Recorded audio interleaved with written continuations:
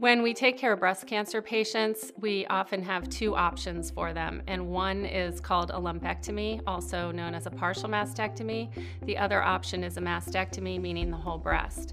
Our biggest goal in doing a lumpectomy is to get clear margins. So, when we talk about margins, this is what we mean.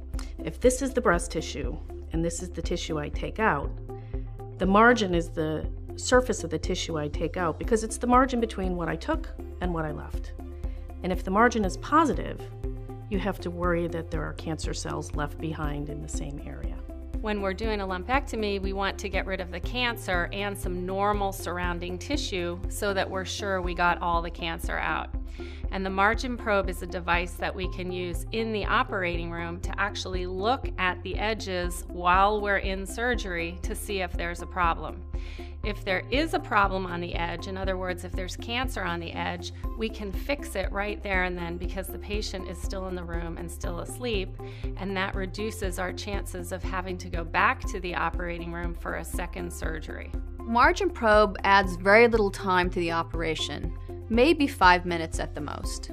Prior to the advent of margin probe, I was really flying very blind, not having any idea whether or not I had removed enough tissue. Because the margin probe is used directly on the lumpectomy specimen and does not touch the patient, there are no side effects associated with its use. Because all patients who are having partial mastectomies have either invasive cancer or DCIS, in my opinion, they're all candidates to use the margin probe because all of those people want to have negative margins. So, why wouldn't you use all the tools that you have at your disposal to increase your chances of success the first time around. As a surgeon, part of my weekly set of tasks is to look at last week's pathology reports uh, when they come due.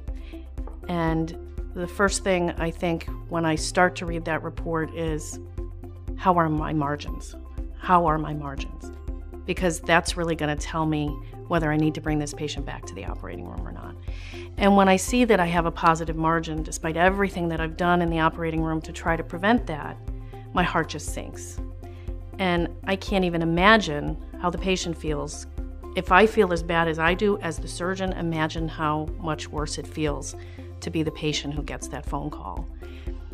And in my practice, Margin Probe has reduced the number of people I have to call by half. When I use Margin Probe, it gives me the confidence of knowing that I'm doing everything I possibly can in the OR to get clear margins and get the best possible patient outcomes.